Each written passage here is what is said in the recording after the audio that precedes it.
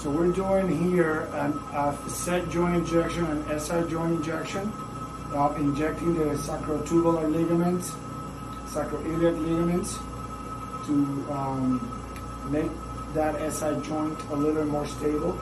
I'm using a combination of lidocaine, Marcaine, and Traumel. I'm not using any steroids. Um, so we're using prolotherapy. Um, the idea of the prolotherapy is to strengthen those ligaments that seems to be weak at this at this point. So I'm using the C-arm to help me position the needle a little bit better. So I'm going to start here. Um, you might feel a little bit of that's it. So I'm going into that joint,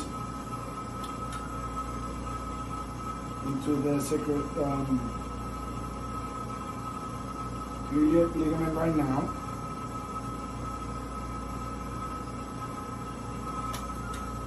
I'm using a, a 1.5 inch needle. It's long enough for her. Sometimes I have to use a spinal needle. There you go. Towards the left side now.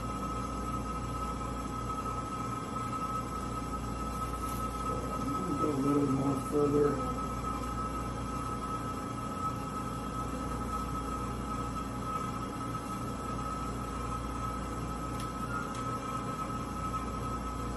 This yarn a little more towards me.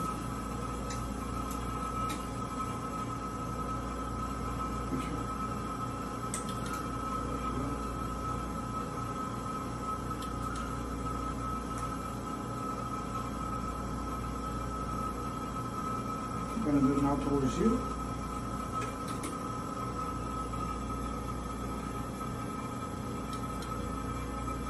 A beautiful picture there. I'm getting into